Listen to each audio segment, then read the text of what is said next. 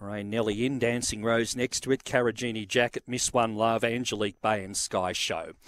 Green light switched on for the first time here at Mount Gambier today. They're set for a start. Ready and away they go and racing. Moraine Nelly won the start, headed early though by Miss One Love and wider out Angelique Bay. Angelique Bay, a narrow leader from Miss One Love.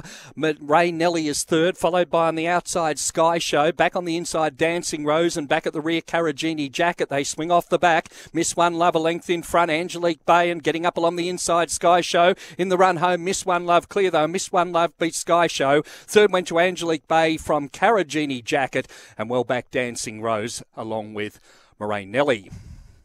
Wait our placings on the first on the program here today. Around 23.50 that race time recorded. 23.47 to be precise. 23 and 47. Number five, Miss One Love, the winner from 8 Sky Show. And third goes to number seven, Angelique Bay. Five, eight, and seven on the first.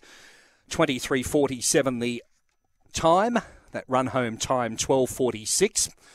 5, 8, 7 and 4. Caragini Jacket winds up fourth.